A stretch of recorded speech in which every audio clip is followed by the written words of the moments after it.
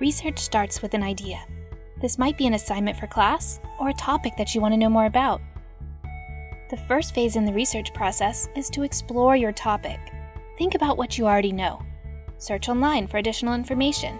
Yes, it's okay to Google at this point. Read some news articles or an encyclopedia article to find out more. These background sources help us explore and learn more about the topic before we dive deeper into the research. As you begin to explore your topic, you should start to find some parts that are more interesting to you. The next phase in the research process is to develop your research question, or take it from the big topic to something more manageable for your project. A good research question is clear, focused, and arguable. Once you have your question, you're ready to start looking for information. Sometimes your instructor may want particular types of sources, so be sure to check. A good place to start your search is with the library resources.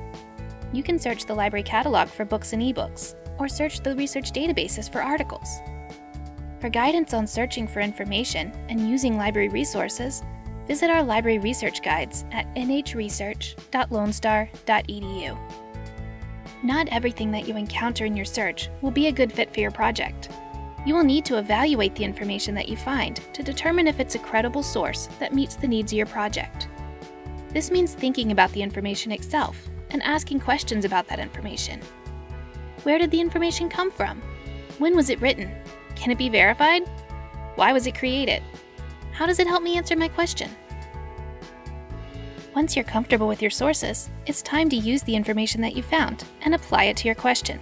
Depending on your assignment, this could be in the form of a paper that you write or a presentation that you put together.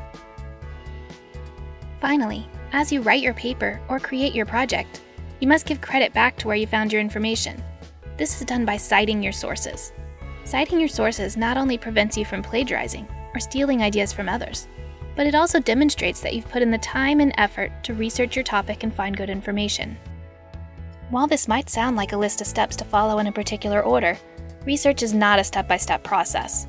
Many times, you will need to jump between the phases to complete your project. For instance, when you start writing your paper, you might find you need more information about a particular thing, so you have to go back and search for more. Or, during your search, you might want to tweak your research question based on what you've learned. This is normal and expected. Good research takes time and is not accomplished in a single night. Don't be afraid to refine your research question or continue developing your topic as you move along in your research. Also, research isn't easy. It's normal to get frustrated or confused as you go through this process. Try to start your research early so you have time to develop your ideas and find the information that you need. And be sure to check in with your academic allies, like your professor, writing tutors, and librarians. We're all here to help you succeed.